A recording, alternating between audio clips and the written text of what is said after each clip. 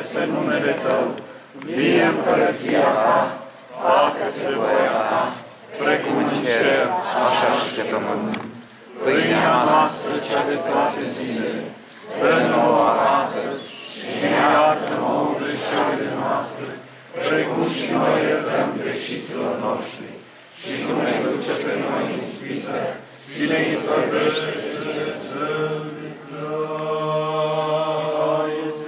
împărăția și puterea și slava a Tatălui și a Fiului și a Sfântului Duh, acum și pururea și pe vecii vecilor.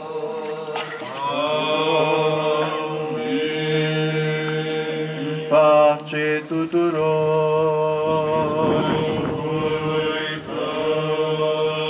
Capetele noastre Domnului să le plecăm.